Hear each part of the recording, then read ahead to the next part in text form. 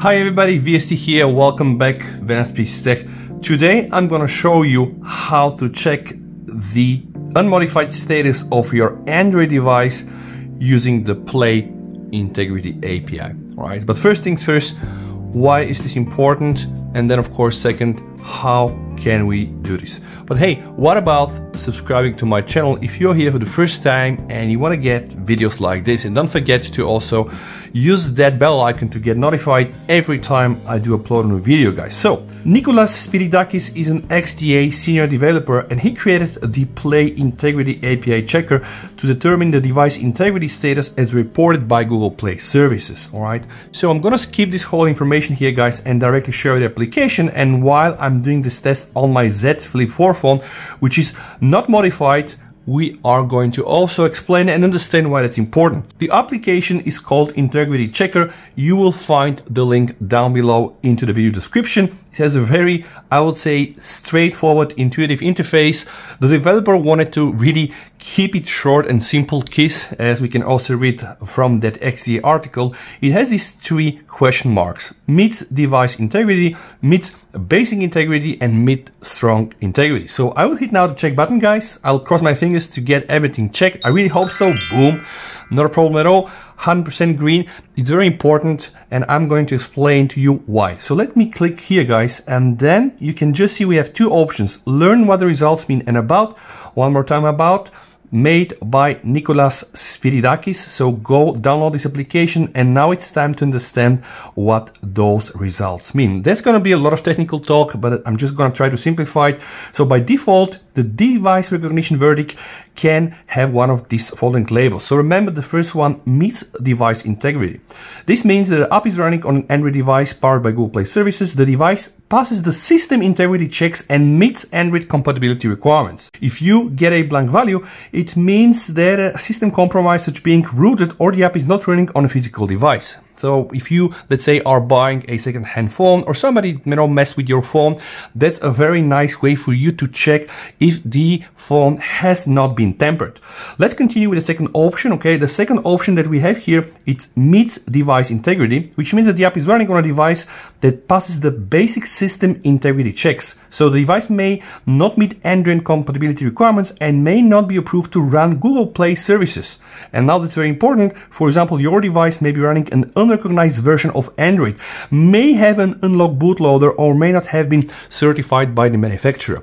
And you know guys, when you go inside the Google Play, let me just show you guys. So let me just open my Play Store. If you go inside the settings guys and you click on the settings, scroll down and press about, you're gonna see something called Play Protect certification device is certified, okay? And this Play Protect certification status is important. Devices that are Play Protect certified means include proprietary apps under license from Google and have passed the Android compatibility testing. Sometimes if you're using some new ROMs, you know, with unlocked bootloaders, you might have problems with this. And of course, this will mean that somebody really tampered with your phone. Now let's check the third option, the meets strong integrity. So again, learn what the results mean. We're gonna scroll down. I think we found it, meets strong integrity.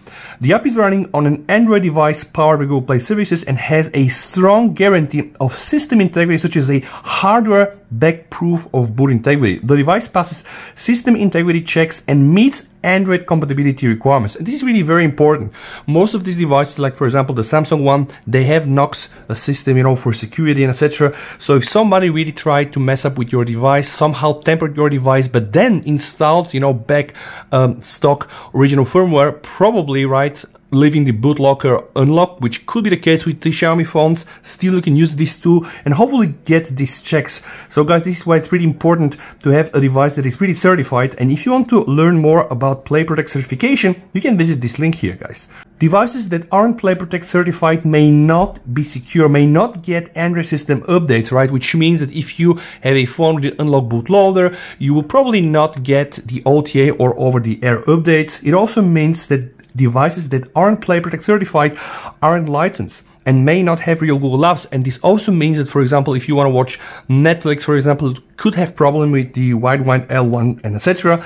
Apps and features on devices aren't Play Protect may not work correctly. Like somebody, for example, changed the applications, install some modified apps, and etc. From those of you that are interested into SafetyNet, you should note that the SafetyNet results are pretty much mapped straightforward to the Play Integrity API, which means that if you get meets basic integrity, properly, this is equivalent to the basic integrity you're getting from SafetyNet. And of course it goes on. So there is also another application that you can use. It's called YASNAC. I'm going to put the link down below. Yet another SafetyNet attestation checker. If you run those checks, you are also going to get these results. Basic integrity pass, CTS profile match pass and evaluation type is hardware backed. You can see, of course, the model name, the Android version, the security patch level, and the Google Play services. And all of those things, guys, these checks are important.